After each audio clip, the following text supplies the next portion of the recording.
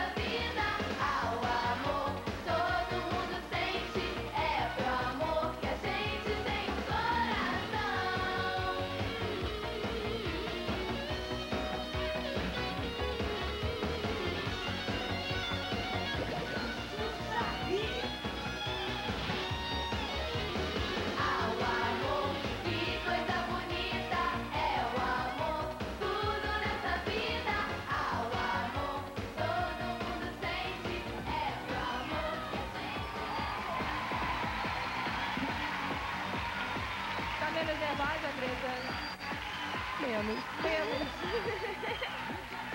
E o disco das Paquitas, eu falei, deixa eu ficar aqui no meio de vocês. Os discos de Paquitas, das Paquitas, eu falei pra vocês que tem vários ritmos.